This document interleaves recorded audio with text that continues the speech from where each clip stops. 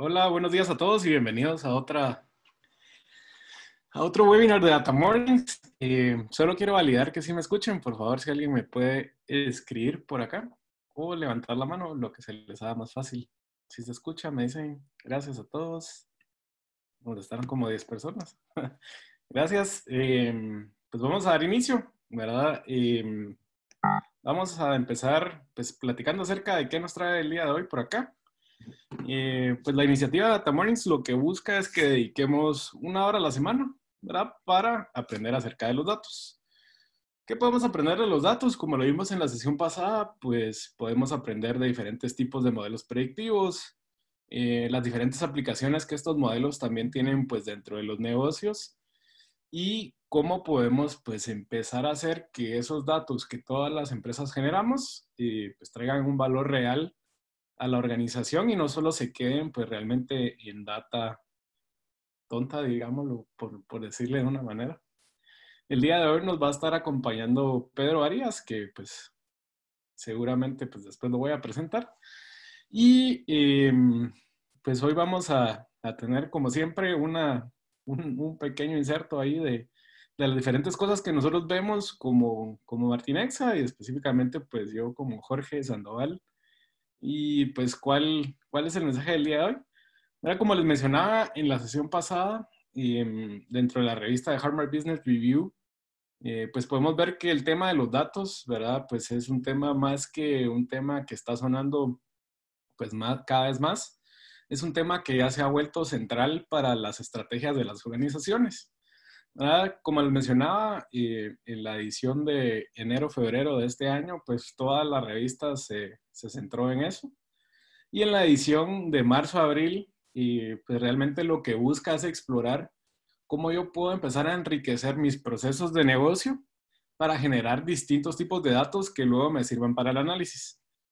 Lo que vamos a ver dentro de las diferentes sesiones de Data Mornings es que justamente no solamente tenemos que saber de datos, tenemos que saber también eh, pues de algoritmos, como lo veíamos con, con Estefano en la sesión pasada, sino que también tenemos que empezar a entender que todo este tema eh, pues de, de, ser data driven, ¿verdad? Como empresa y de realmente pues centrar los datos como una estrategia, como una estrategia de negocio, tiene que ver también más allá eh, pues de solo las herramientas y solo el conocimiento. Y pues, ¿por qué lo, lo, digo, verdad? Como lo dice realmente la revista, tenemos que empezar a crear esas culturas de experimentación en donde tengamos realmente las fuentes eh, de datos necesarias para empezar a hacer ese tipo de predicciones. Y me quisiera concentrar en dos libros, uno que fue mi libro de la semana pasada, que es el del lado izquierdo, ¿verdad? Que es el libro del ex CEO de Disney. Eh, realmente en este lo que él pues plasma eh, a lo largo de todo el libro esto, realmente toda la estrategia que él tomó desde que, desde que tomó el poder eh, en Disney, ¿verdad? Él se centró específicamente en tres cosas, ¿verdad? La primera fue cómo volver a Disney una empresa internacional. Eh, la segunda fue cómo apalancar a Disney eh, con temas de tecnología, ¿verdad? Y esa es la que nos vamos a centrar el día de hoy. Y la tercera fue cómo realmente pues estructurar una estrategia de crecimiento para Disney y pues realmente empezar a, pensar cómo expandir su portafolio eh, pues, de productos. Eh, en este caso, como todos saben, pues el producto de Disney es contenido, ¿verdad? Tanto a nivel de sus parques, en donde crean experiencias para sus visitantes, como pues a nivel de sus eh, largometrajes o películas, como lo son pues las películas de Disney, Marvel, etcétera, etcétera, etcétera. Y eso ligado a otro libro que pues, leí el año pasado que se llama Connected Strategy. ¿Y por qué traigo estos dos libros, digamos, de la mano? Porque realmente Disney es uno de los ejemplos eh, que yo en lo personal considero eh, bastante exitosos en cuanto a transformación digital y en cuanto también a cambiar esa mentalidad de organización a ser realmente una organización que emplea los datos a beneficio propio. Y con eso eh, les voy a dar un pequeño resumen del libro de Connected Strategies. Realmente lo que dice, o la tesis principal, es que debemos decidir hasta qué nivel conectamos pues, la estrategia de las organizaciones y siempre pues teniendo en cuenta lo que vemos por acá, ¿verdad? Hay, hay cierta línea en donde el cliente se siente intimidado, ¿verdad?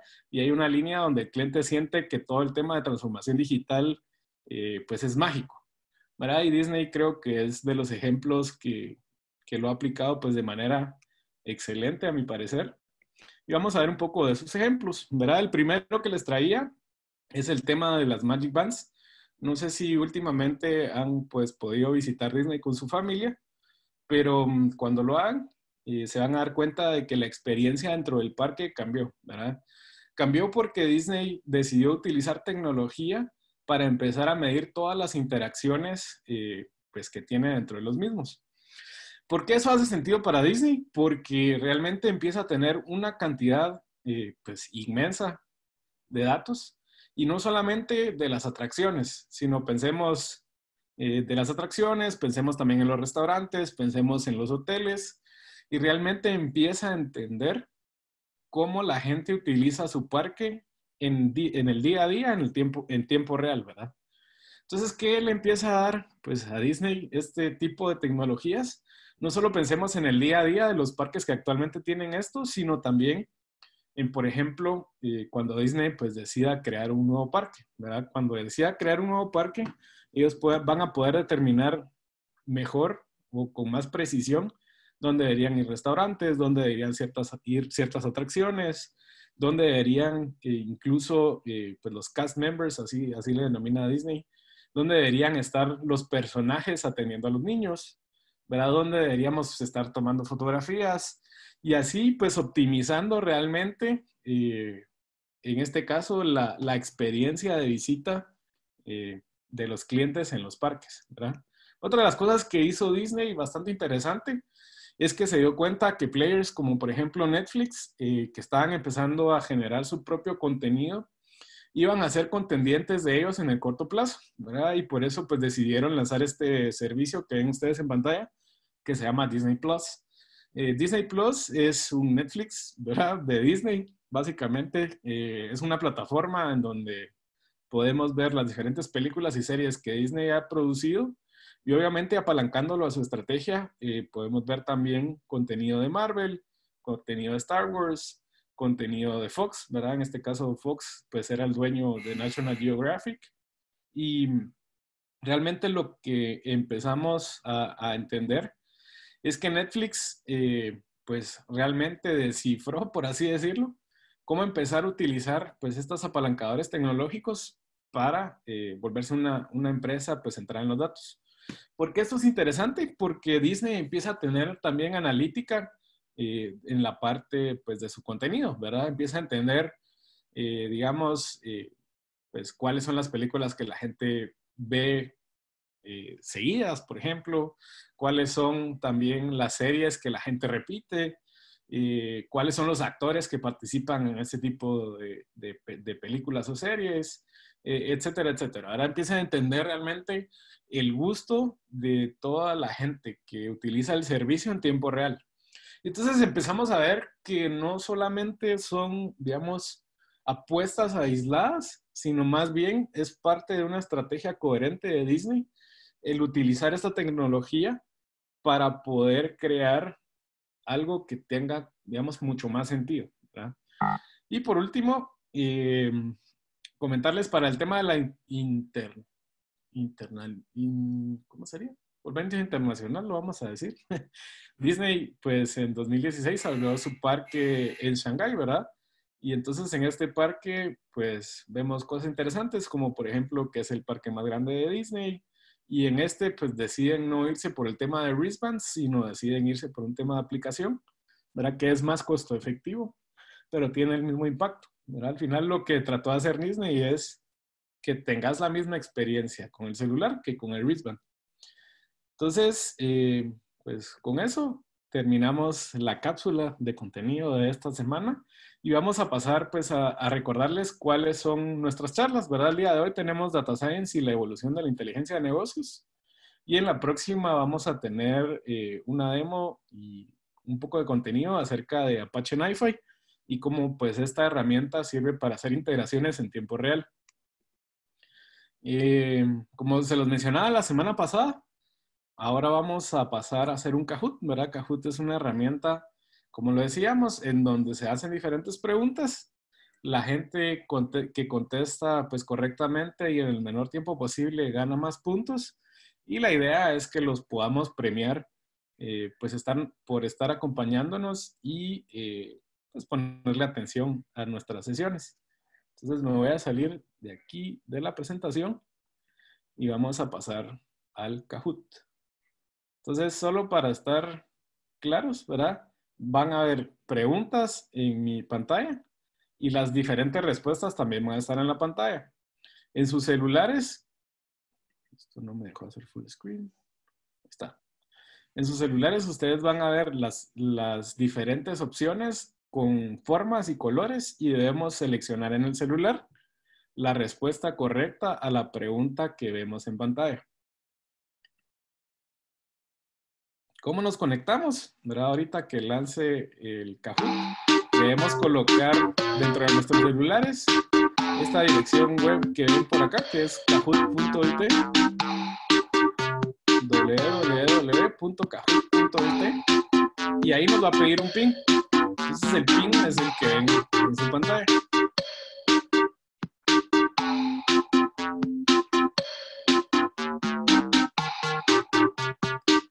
Otra vez debemos ingresar a kahoot.it y el pin del juego es el que ven en la pantalla.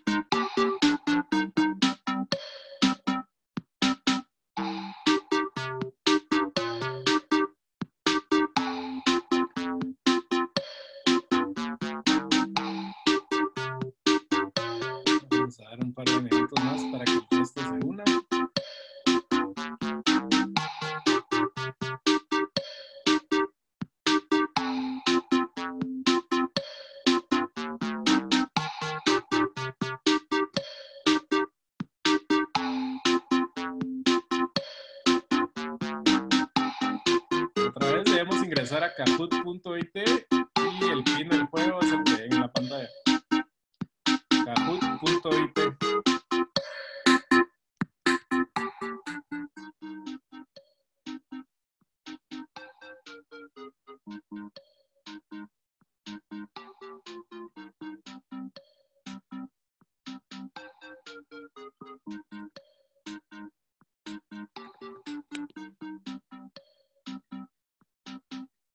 que acaban de unirse, debemos ingresar a kahoot.it y colocar el pin que ven en su pantalla.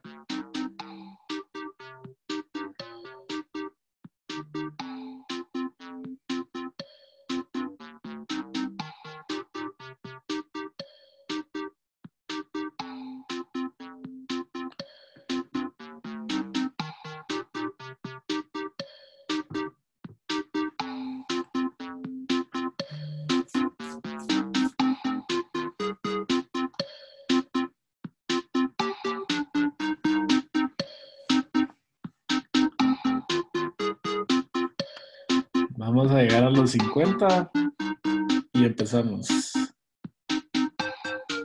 Bueno, empezamos de una vez.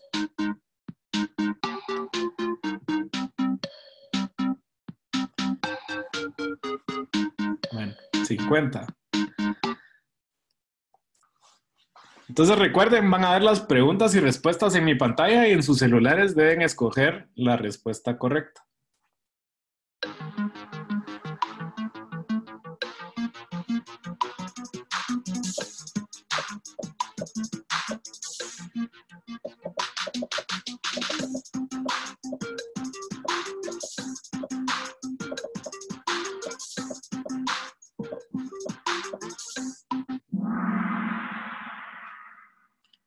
La respuesta correcta, teoría de colas, site location y optimización de ventas. Va ganando Mario, segundo lugar Raúl Guzmán, tercer lugar Vivian. Ojo que la gente de Martinexa no puede ganar la gift card, Lo digo.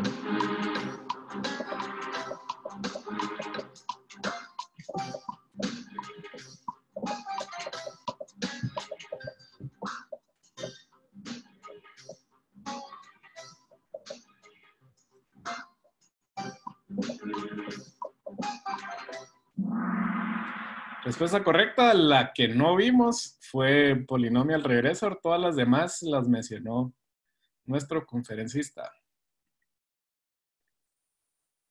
Va ganando John Mora, segundo lugar Luis H, tercer lugar Valmore o Valmore, no sé.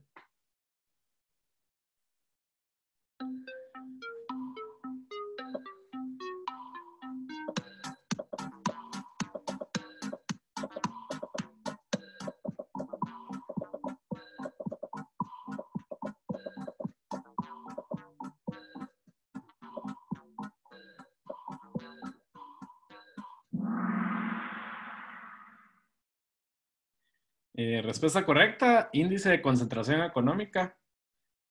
de caricaturas espaciales, pues no era. Y de consumo esporádico tampoco.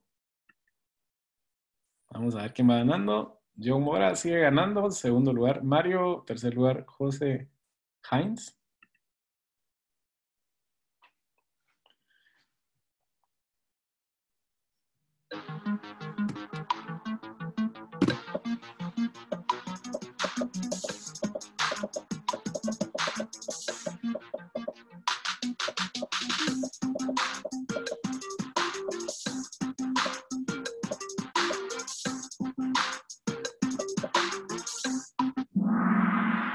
Respuesta correcta, combinación óptima de cajas abiertas, ¿verdad? Como lo decía nuestro conferencista la semana pasada, lo que estábamos tratando de hacer era colocar el número óptimo de personas para reducir el tiempo de atención sin que esto tuviera pues un efecto negativo en la productividad de la tienda.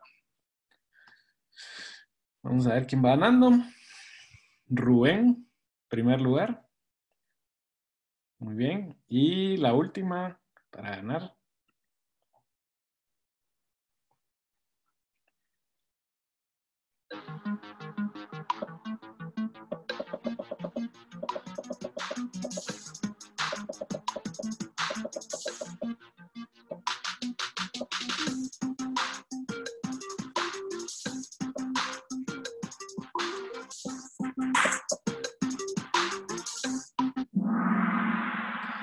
La respuesta correcta, Estefano.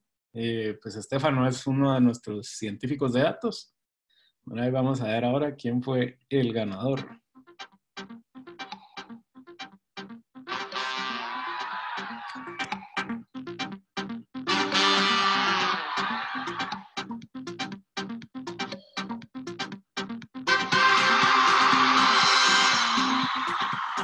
Eh, pues felicidades, Rubén.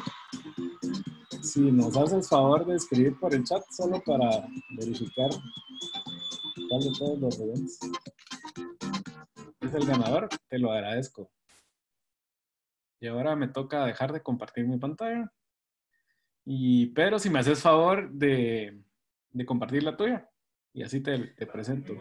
Con mucho gusto. En lo que Pedro nos hace favor de compartir su pantalla, eh, se los presento, ¿verdad? Pedro es un ingeniero en sistemas, eh, es parte de nuestro equipo de preventa para el área analítica y tiene pues bastante experiencia integrando soluciones de tecnología, eh, tanto a nivel eh, pues de hardware, ¿verdad? Como pues también líneas de negocio disruptivas como VMware, Cloudera, etcétera, etcétera. Pero pues tiene diferentes certificaciones, ¿verdad? En, el caso de Dell EMC, VMware y también Cloudera y pues tiene una visión de primera mano sobre todo este panorama de analítica en la región de Latinoamérica. Pedro es la persona que nos apoya eh, en México, Caribe y norte de, Centroamérica. Entonces, sin más, te dejo, Pedro. Muchas gracias. gracias por tenerme aquí. Em, el tema de hoy, como bien dijo Jorge, es Data Science y la evolución de la inteligencia de negocios. vamos a, en la agenda, ¿verdad? a hacer una pequeña introducción, em, contarles un poco de historia, a ver qué ciencia de datos. Vamos a cubrir etapas de madurez organizacional, un poco de tecnologías y habilidades para Business Intelligence y Data Science y pues, algunas tendencias que estamos viendo en ciencia de datos para el 2020 en adelante.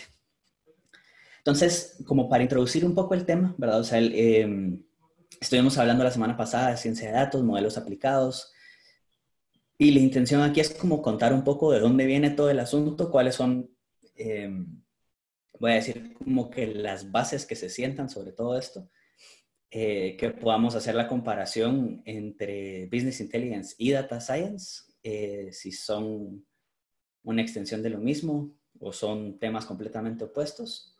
Explicar un poco qué es ciencia de datos en sí y que podamos ver las etapas de madurez organizacional, eh, como que los puntos de desarrollo de una empresa de eso, y cómo las tecnologías compiten o se complementan.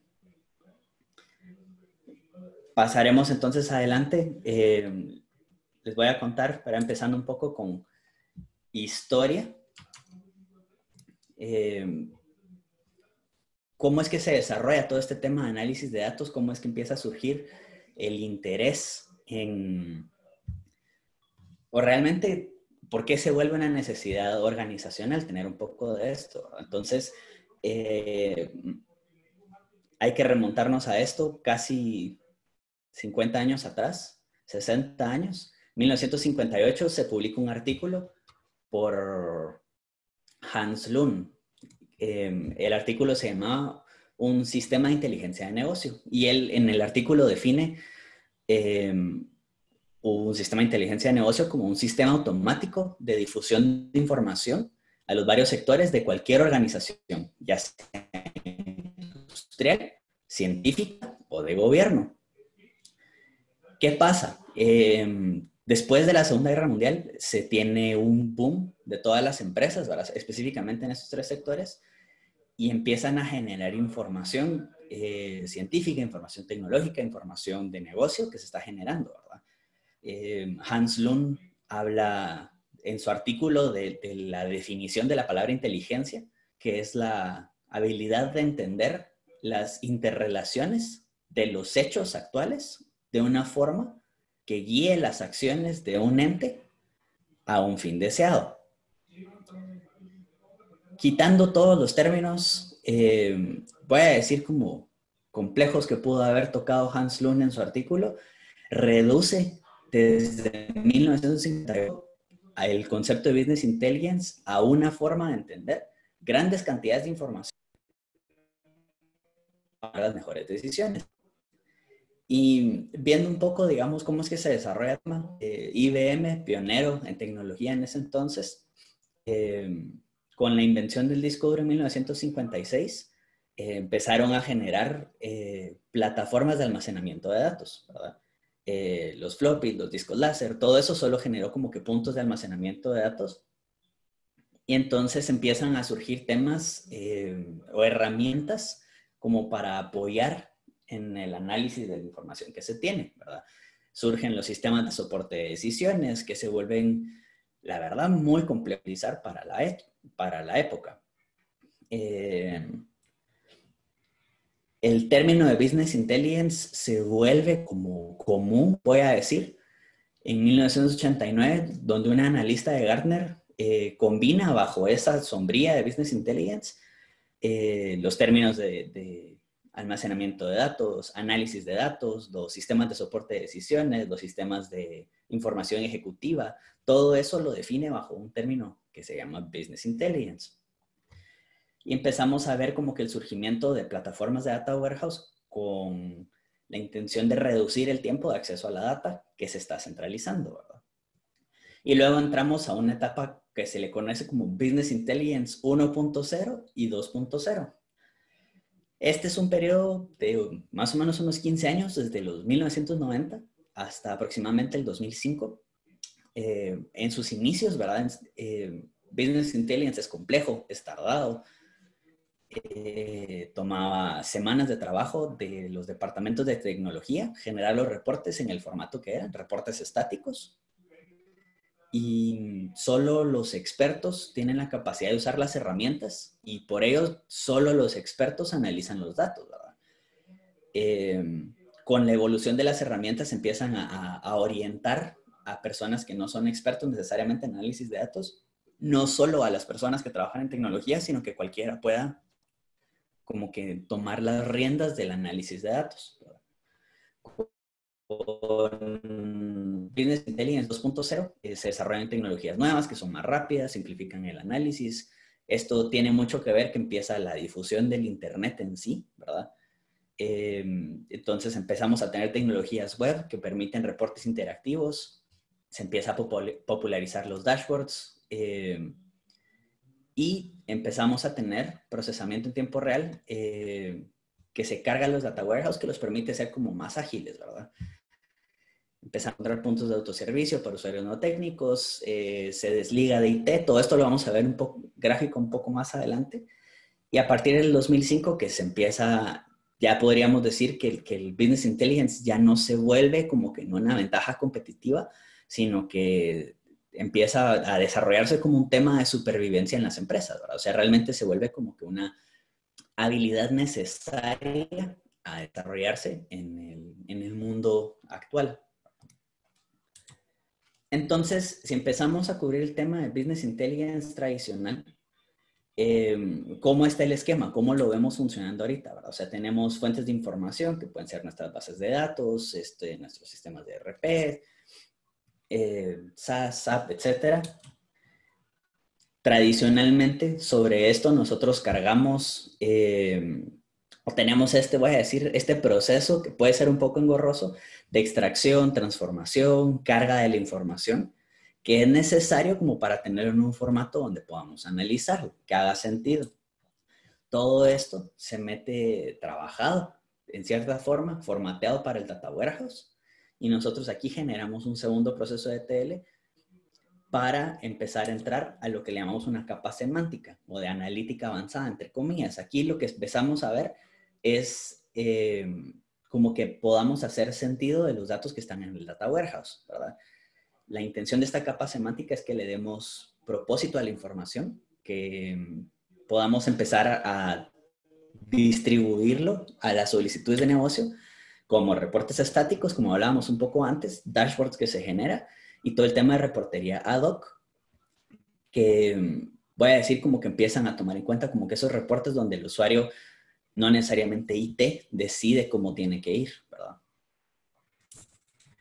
Entonces empezamos a ver como que una separación eh, entre lo que se considera como IT, el Business Intelligence tradicional, gobernado por IT, y una como nueva frontera de Business Intelligence. Ahora empezamos a, eh, a trabajar estos puntos de en medio, la capa semántica, el Data Warehouse, el ETL, eh, como una sola plataforma en ambas partes y digamos como que el nuevo Business Intelligence tiene herramientas de visualización, ¿verdad? Esto puede ser ClickSense, puede ser Tableau, ¿verdad? O sea, hay, hay MicroStrategy, hay muchas herramientas que, que, nos sirven para visualizar los reportes que estamos generando, para que nos sirven para visualizar los dashboards.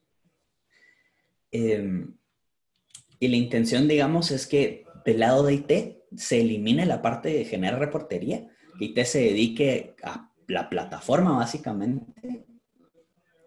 Y entonces que nosotros, estas, voy a decir como tres puntos, alimenten un portal de preparación, de analítica avanzada, autoservicio, para que las personas, los analistas, tengan la capacidad como de encontrar ellos la información que necesitan y mostrarla en sus herramientas de visualización. Entonces empezamos a ver aquí que bajo este nuevo esquema, donde empezamos a tomar en cuenta eh, tecnologías de fondo, ya no solo trabajamos con información estructurada, sino que vemos de este lado, ya no necesariamente tiene que haber un data warehouse, sino que solo es un recurso más que podemos aplicar. Entonces empiezan a surgir, voy a decir los temas del análisis de datos, ya no solo Business Intelligence, como de la nueva era, eh, los temas disruptivos y modernos como Hadoop, el tema de sacar la información de aplicaciones, Internet de las Cosas, redes sociales, que empiezan a enriquecer un poco el panorama de lo que podemos trabajar. Que esto nos lleva, digamos, un poco a las etapas dentro del modelo de madurez que hemos ido encontrando como Martinexa. Em, tenemos cinco etapas. Estas, si ven, están unidas bajo una, una, voy a decir, una línea recta, porque el avance entre estas etapas no necesariamente es, es, es blanco y negro, ¿verdad? O sea, no significa que yo haya salido completamente de una etapa, sino que siendo las organizaciones cada vez más complejas, habrán departamentos que tendrán avances, están, voy a decir, como en el área caminando a una siguiente etapa, y partes que tienen un proceso más artesanal, más manual. Em, y la intención es ir caminando en general a toda la empresa bajo este, bajo este modelo. Entonces vamos a ir cubriendo brevemente algunas de las etapas, em, solo como para dejar el precedente de cómo es que este esquema de, de, Business Intelligence, ciencia de datos, se mira hoy en día, ¿verdad? Porque eso es como que un modelo tradicional. Entonces, como para mostrar cuáles son los retos de las siguientes etapas, en qué momento deberíamos ir implementando qué tecnologías, que eso nos lo da un poco esto. Empezando a contarles con la etapa del caos. Caos es lo que suena, básicamente. Tenemos información que está dispersa, está en islas de datos, eh, no se tiene una actualización constante de la información, se depende mucho de las personas y sus procesos, ¿verdad? No tenemos algo automatizado, voy a decir, que permita eh, analizar la información. El acceso a la información es muy complejo, precisamente porque como está en islas de datos, necesito yo tener el permiso individual de todas las dueños de la información e ir a consultar la información a sus archivos de Excel o, a donde sea, ¿verdad? No, no está centralizada. Con esos retos en mente, em, empezamos a pasar a la parte de reporte. Por aquí centralizamos eh, arquitecturas para eh, tener la información en un, solo, en un solo lugar. Actualizamos la información constantemente para que esté al día, ¿verdad? Esto eh, para si una persona sale de vacaciones, que no necesariamente tengamos que esperar a que regrese para que el reporte esté al día, sino que este sea una alimentación un poco más automática. Y la intención es reducir el, digamos, reducir el uso de Excel, el uso aislado de Excel, ¿verdad? Y que podamos tener herramientas de reportería que puedan servir a toda la empresa. Entonces empezamos a tener la capacidad de analizar no solo dónde estamos, sino de dónde venimos, ¿verdad? Con analítica descriptiva una visión única, ¿verdad? Eh, esto es una única versión de la verdad, básicamente, donde yo puedo consultar, digamos, a distintas áreas y que me puedan dar un único dato, ¿verdad?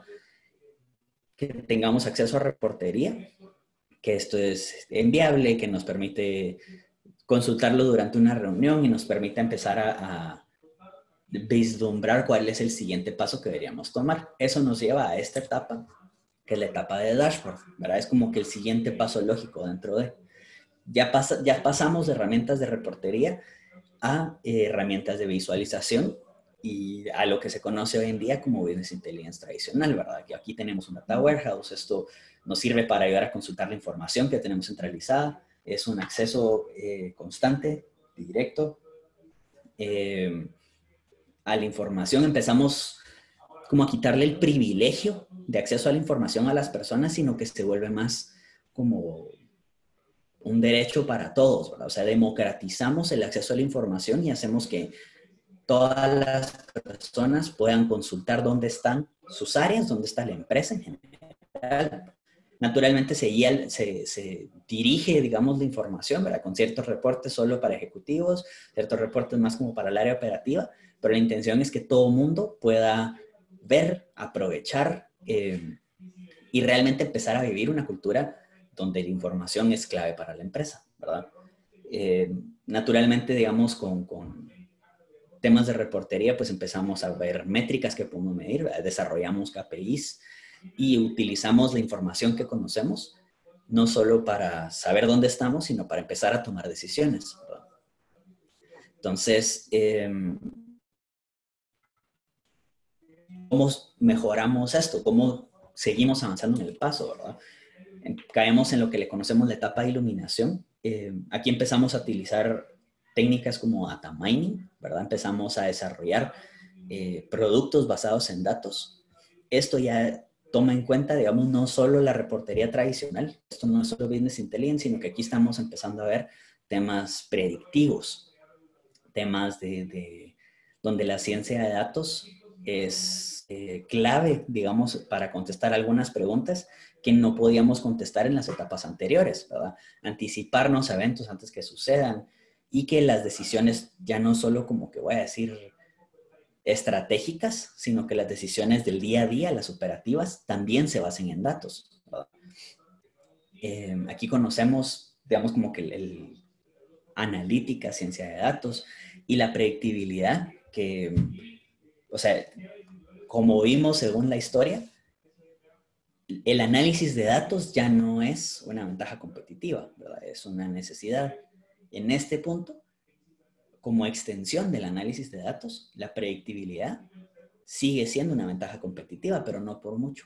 Se va a volver una necesidad y es importante estar a la cabeza de esa tendencia. De ahí eh, buscamos que los resultados analíticos estén en el momento correcto, ¿verdad? Esto va muy relacionado a la idea del tiempo real, como se conoce recientemente, que es no solo ingesta información en el momento en que se genera, sino que también eh, esa información esté disponible eh, para el negocio tan pronto como sea posible, ¿verdad? Como beneficios de todos estos retos que hemos trabajado, tenemos descubrimientos de negocio. Estos son, voy a decir, esto es cuando permitimos que los datos nos hablen y nos muestren patrones y tendencias que van más allá de lo obvio, ¿verdad? Que tengamos una interacción analítica, que podamos tener predictibilidad y analítica en tiempo real. Finalmente, eh, esto es donde quisiéramos que estén todas las empresas. tenemos la etapa del Everest, donde tenemos la creación de un equipo dedicado solo para análisis de datos, para analítica en sí. A este término se le conoce como un centro de excelencia, COE por sus iniciales en inglés. Aquí es importante que hagamos una integración de resultados analíticos con sistemas automatizados. ¿Por qué? O sea, si todo, todo lo que venimos trabajando acá tiene como fondo, digamos, la eliminación o la reducción del trabajo manual, ¿por qué vamos a dejar que nuestros resultados detengan un proceso? ¿verdad? ¿Por qué voy a generar yo eh, solicitudes en una pantalla que va a estar en la pantalla de un operador y tengo que esperar a que le dé el visto bueno, si yo sé que esas decisiones las puedo tomar con 90, 95% de certeza, eh, basado en el modelo que yo tengo. Entonces, podemos automatizar procesos, generar acciones, reducir costos, reducir tiempos y naturalmente hay, hay temas donde esta capacidad de respuesta, esta integración con sistemas automatizados, literalmente es dinero, ¿verdad? En temas de fraude, por ejemplo, eh, o en temas de calificación proactiva de seguros. Eh, esto me permite a mí reducir el riesgo con el que yo doy mis servicios, que yo pueda perder menos en operaciones fraudulentas. Va mucho o va muy relacionado con mi capacidad de reacción y mi, capacidad de acción en el día a día, ¿verdad? Eh, aquí en este momento las etapas, ¿verdad? Eh, en la etapa de veres, las decisiones estratégicas y tácticas se basan en resultados analíticos. La intención es que no solo hagamos productos basados en datos, no solo hagamos modelos analíticos, em, voy a decir a ciegas, sino que nosotros tengamos una visibilidad clara de cuál es el retorno que nos puede generar estos modelos. O sea, ya cuando la, empresa ha adoptado esa cultura de datos, eh, se ha vuelto una, empresa orientada a datos, como vamos a ver, el retorno de inversión se vuelve importante porque, digamos, comparando dos opciones, o sea, yo tal vez podría estar haciendo un análisis de próxima, digamos, próxima mejor acción, cómo orientar yo a las, eh, qué productos ofrecer a las personas que me los vayan a aceptar eh, con un alto porcentaje de probabilidad, versus enviar una felicitación de cumpleaños por correo.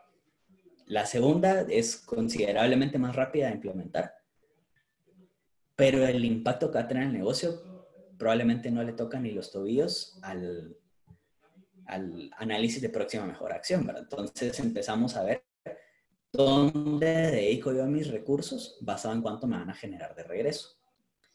Como decimos, los beneficios al final de esta etapa es que la empresa es orientada a datos o data driven, como se le conoce, eh, los datos se monetizan, ¿verdad? La información literalmente se convierte en dinero.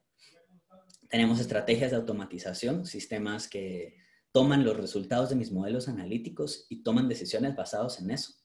Y la explotación de nueva data, básicamente, ¿verdad? O sea, lo que conocemos como aplicaciones, Internet de las Cosas, redes sociales. Entonces, pasamos un poco a este tema. ¿Qué entonces es ciencia de datos. La ciencia de datos, eh, al final entonces se vuelve, como voy a decir, un término sombría, ¿verdad?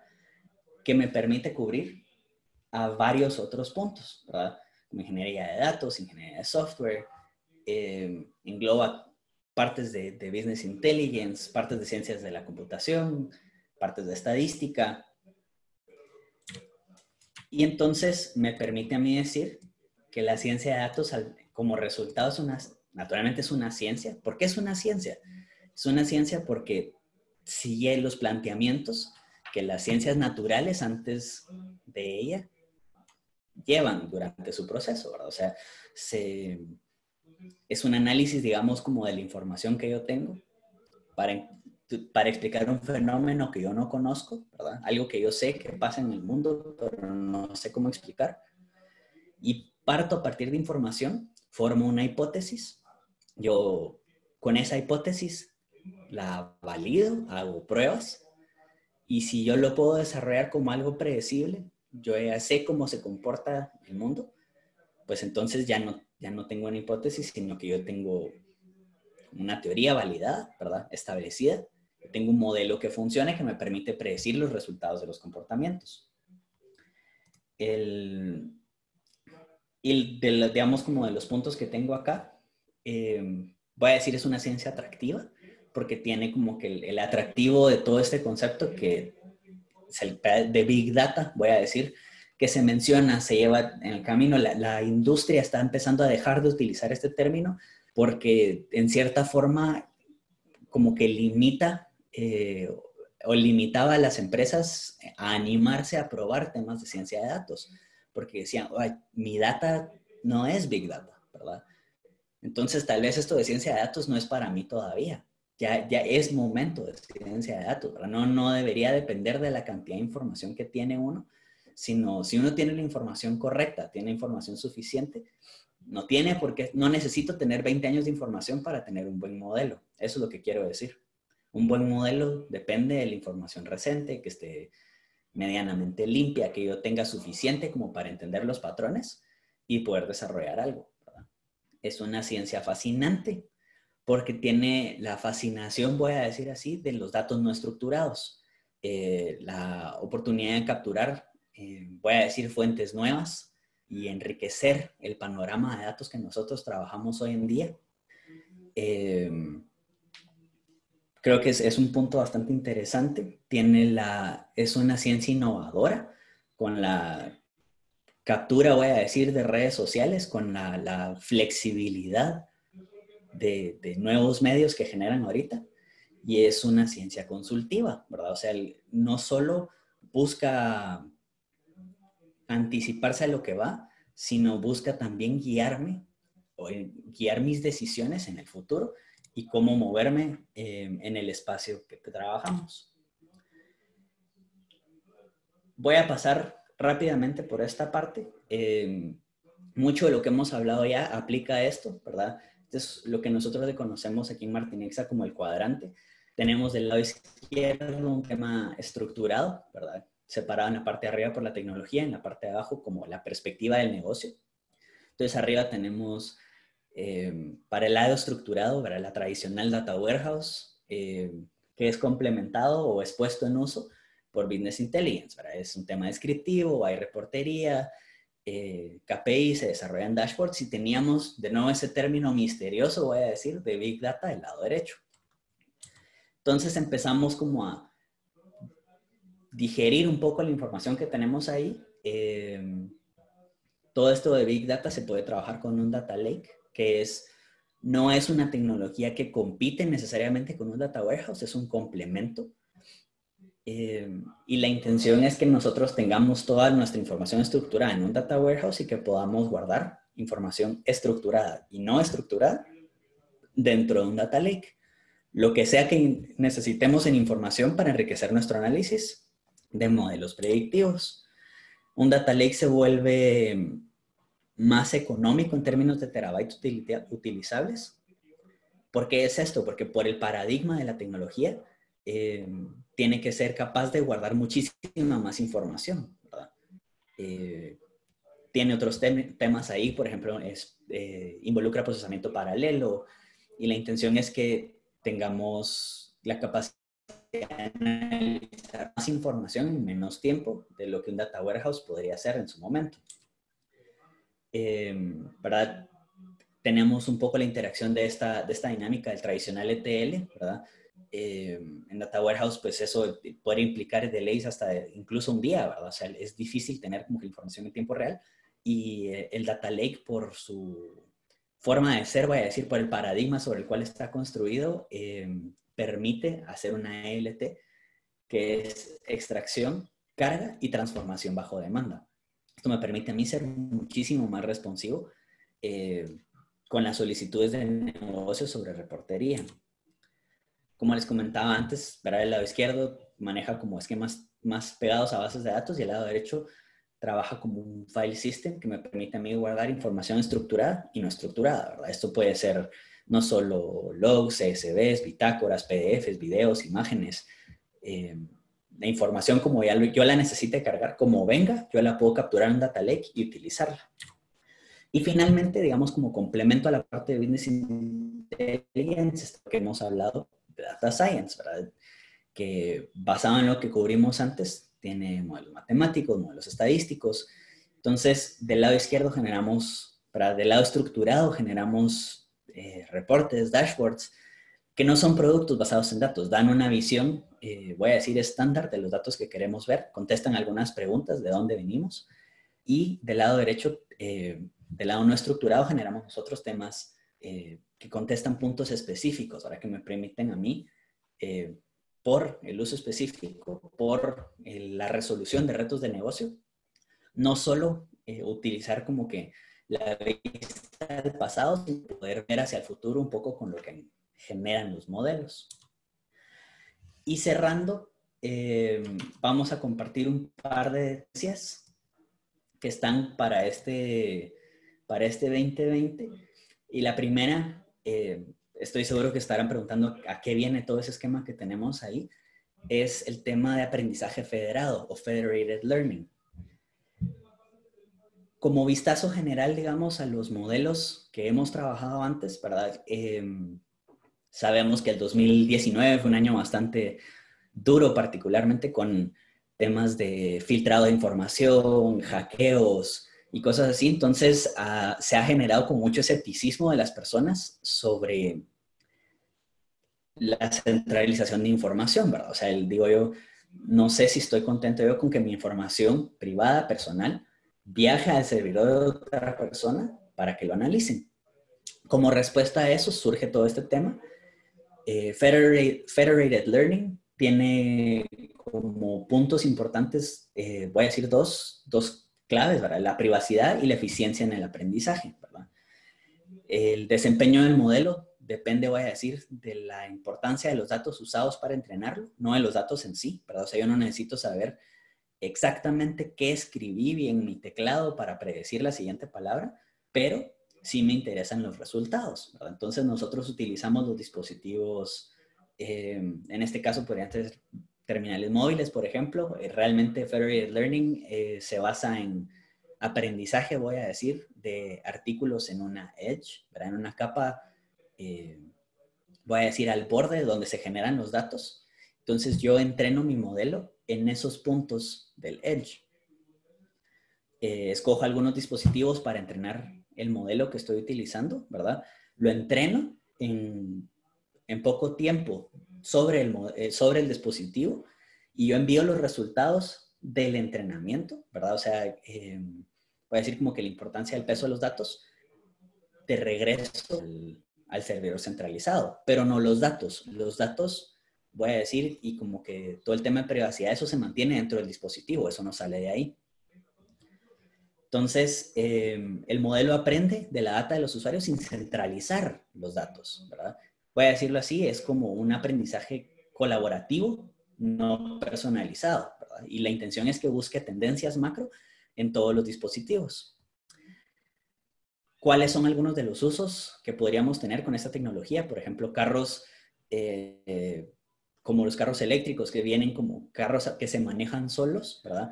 Que puedan aprender de las rutas, de el comportamiento humano, digamos, manejando, que aprendan del conocimiento colectivo de conductores a nivel mundial, aprendiendo de lo que cada carro experimenta en su día a día sin que yo tenga que decir, por ejemplo, dónde ha estado, a dónde va, qué voy a decir, es información personal. Y, por ejemplo, eh, temas de hospitales mejorando su capacidad de diagnóstico, manteniendo la privacidad de los pacientes. Básicamente, Federated Learning es aprender de todos sin saber información de alguien en específico. Esa es una de las tendencias grandes y eh, aprovechándome el punto que mencioné al final de hospitales, eh, les cuento, digamos, como de la siguiente tendencia, que es ciencia de datos en campos, voy a decir como conservadores. Uno de los campos más grandes donde se está desarrollando todo este tema es en la medicina.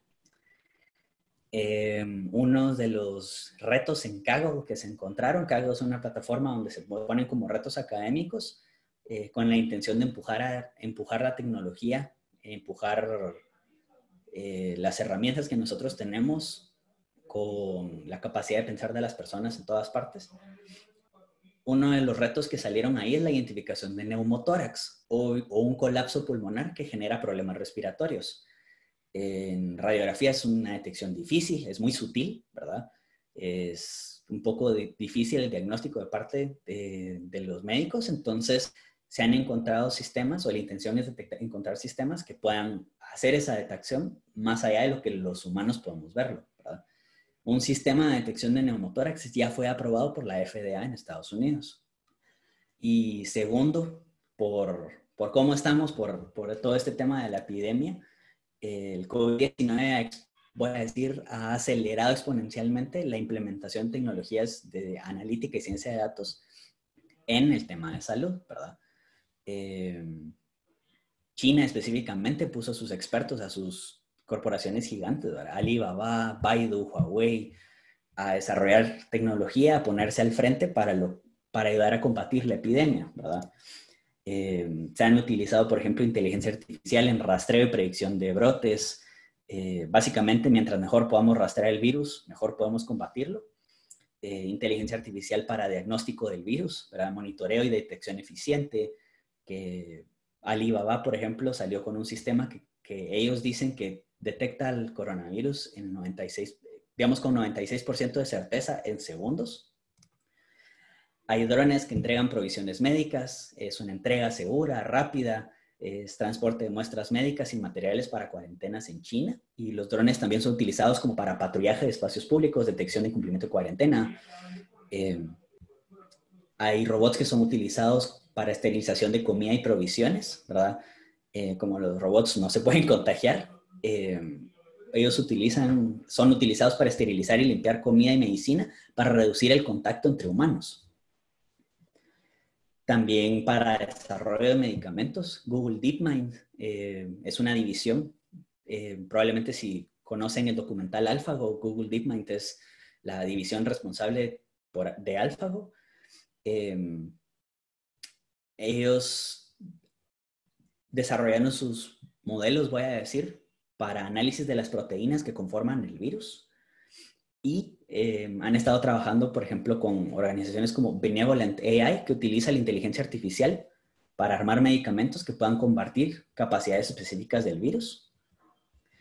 Y voy a decir, empezamos a entrar en un, en un tema un poco delicado, eh, con detección de personas infectadas también, ¿verdad? O sea, eh, China tiene un sistema de vigilancia con reconocimiento facial cuando fue implementado era un poco controversial, pero ahora lo están utilizando con tecnologías modernas, eh, con medición de temperatura remota para ayudar a encontrar personas que pueden tener fiebres. Y mm, he querido reportarlo. Hay cascos inteligentes que portan los policías con esta misma tecnología para ayudarlos a detectar personas que tengan fiebre y deberían estar en cuarentena. y em, recientemente se está desarrollando una herramienta que le conocen ellos como Health Code. Es un sistema de monitoreo, utiliza Big Data básicamente para identificar y calificar el riesgo de una persona basado en su historial de viajes, cuánto tiempo pasaron en hotspots del virus y cuánto contacto o potencial contacto han tenido con personas infectadas. Eh, los ciudadanos están siendo asignados un código, un código de semáforo, o sea, amarillo, verde o rojo, eh, para indicarles si deben permanecer en cuarentena o si tienen libertad de salir. Entonces, esas son algunas de las tendencias donde se está aplicando la ciencia de datos hoy en día. Eh, yo esto es lo que tenía para compartirles hoy. No sé si, si hay preguntas.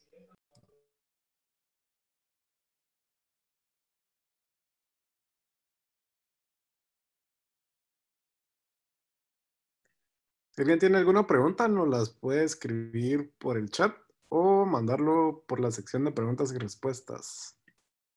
Tenemos cuatro minutos y yo tengo una pregunta. Pedriño, ¿vos qué dirías que es más difícil, adoptar las tecnologías o entrenar a la gente? Para tener ese mindset de, pensar en datos antes de, de pensar en sus suposiciones, digamos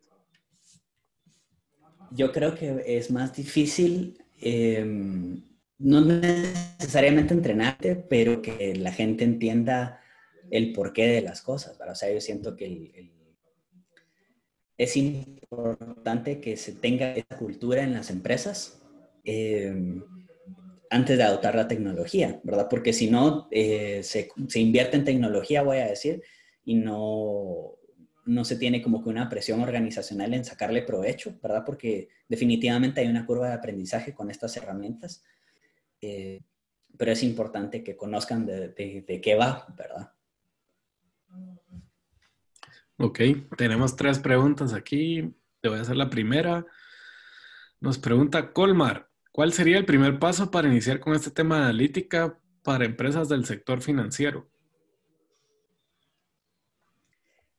Yo creo que el, va muy ligado a la pregunta anterior. Em, siento que como primer paso es, que la gente le, le, conozca el valor a la analítica, a la ciencia de datos.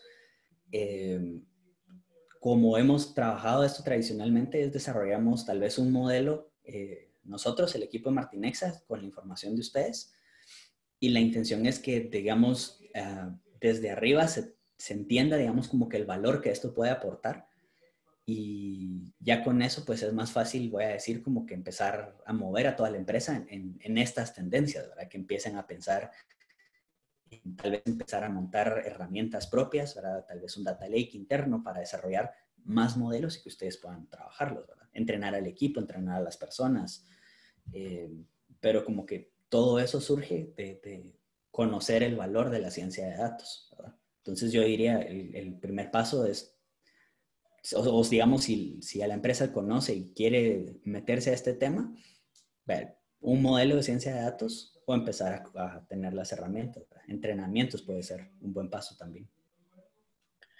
Tenemos otras cinco preguntas. Eh, nos pregunta Víctor, respecto a la monetización de datos, ¿hay alguna metodología generalmente aceptada para calcular su valor en moneda? Supongo que es retorno de inversión. Sí, la, importancia ahí es ver cuál es el rubro donde está el, modelo, voy a decir, y cuánto, cuánto dejamos de percibir porque ese modelo no está en producción. Pero por ahí va más o menos cuando calculamos el retorno de inversión.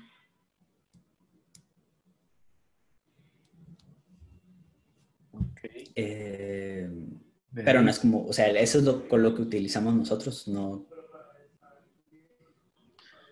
Existen modelos, sí, podrías calcularlo.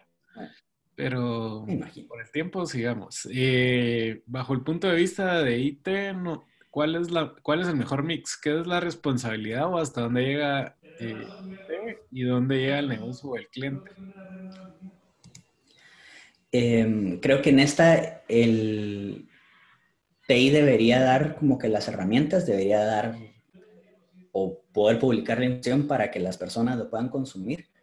Em, el negocio del cliente decide, digamos, sobre qué se usa, ¿verdad? O sea, a veces eh, el negocio tiene otras prioridades que TI, entonces, digamos, cuáles son los modelos que se desarrollan, esa iniciativa debería venir del negocio y, y TI debería estar como que preparado para habilitar, voy a decir, al negocio en poder contestar sus preguntas. Ok. La próxima, dice Leonel, para una empresa pequeña con recursos limitados, ¿qué estrategia podrían compartirnos? ¿Es la más efectiva para desarrollar este roadmap de analítica? Em, para empresas pequeñas, digamos, eh, tal vez los primeros pasos no serían montar una plataforma analítica, no sería desarrollar un data lake. Eh, lo que podríamos trabajar ahí son eh, como mencionaba un poco, tal vez modelos que podamos desarrollar nosotros. Si quisieran como que aprender de cómo hacer, podríamos trabajar en equipos mixtos, ¿verdad? O, tal vez eh, las personas de, la empresa eh, acompañarnos a nosotros como shadow en lo que desarrollamos un modelo para que empiecen a generar valor. Eh, y no necesariamente tienen que dedicarse a la parte tecnológica. Hay, hay herramientas en la nube que podemos utilizar también para montar tecnologías de Data Lake, eh, que también limita el tema de, inversión, ¿verdad? Haciéndolo más accesible para empresas pequeñas. Sí, yo también diría, puede ser un tema de as service, que también lo manejamos. Y nos pregunta Carlos, de estas tendencias, ¿cuáles están ya implementando en Guatemala o en la región? Em, al menos de, las tendencias al final, Federated Learning es, es algo que ya estamos viendo em, con algunas aplicaciones. En temas médicos creo que no estamos tan dados todavía, pero nos encantaría estar. ok. Eh, vamos a ver. Otra nos pregunta Carlos Muñoz. Eh, el tema de la opción de las tecnologías es costoso. ¿Qué alternativas muestra Martinexa para apoyar a que esa adopción sea congruente con nuestras regiones?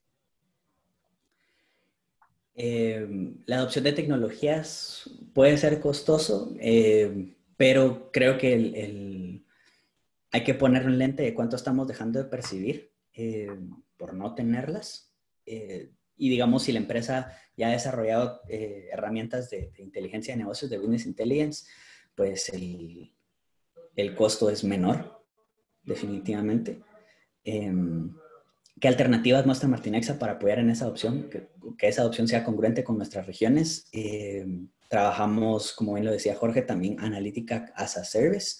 Nosotros podemos trabajar em, modelos de ciencia de datos y que las empresas pues realmente digamos como que se desentienden como de todo ese proceso y solo eh, nos dan los datos y disfrutan de los resultados sin preocuparse como que qué pasa en medio. Ok. Nos pregunta Rafael, ¿cuánto tiempo toma hacer un modelo de datos? Es una buena pregunta. Em, un modelo de datos, dependiendo, digamos, bajo el esquema que nosotros desarrollamos, eh, tenemos una metodología propietaria que se llama DataBoost. Es un proyecto desde que tiene el bandazo de salida hasta que el modelo está en producción, generando valor para la empresa. Eh, un promedio de cuatro meses. Naturalmente hay proyectos más complejos que toman más tiempo y habrán proyectos más sencillos que pueden salir en menos tiempo. Pero en promedio aproximadamente cuatro meses. Ok. Y la última ya la contestaste. Eh, pues bueno ya respondimos las preguntas que, nos plantearon, ¿verdad? Recuerden que el 15 de abril tenemos nuestra próxima sesión. Les dimos un, feriado ahí por el tema de Semana Santa. Y la próxima nos vamos a ver integración de datos en tiempo real con Apache NiFi. Eso va a ser un poco diferente, ¿verdad? Ahí lo que traemos es más una demostración, si no estoy mal. Entonces va a ser bastante práctica. Eh, pues agradecemos su tiempo, ¿verdad? Y muchas gracias, Pedro, por, por acompañarnos el día de hoy. No, un gusto. Eh, solo como comentario de cierre, entre, como decíamos así, eh, hablando un poco del mix de las personas, digamos, entre tecnología y negocio, es importante que, realmente TI sea un habilitador de, estas tendencias para que el negocio pueda volar por su propia sala. Es como comentario de cierre. Eh, nos pregunta Manuel y Walter, ¿tienen las sesiones grabadas? Sí, las estamos grabando y las vamos a compartir en un correo el día de mañana, ¿verdad? Siempre les enviamos un correo el día siguiente eh, con la grabación de la sesión para que la puedan ahí ver o compartir con pues, la persona que quiera. Y con eso cerramos. Y pues gracias por estar el día de hoy con nosotros y por acompañarnos a The Mornings.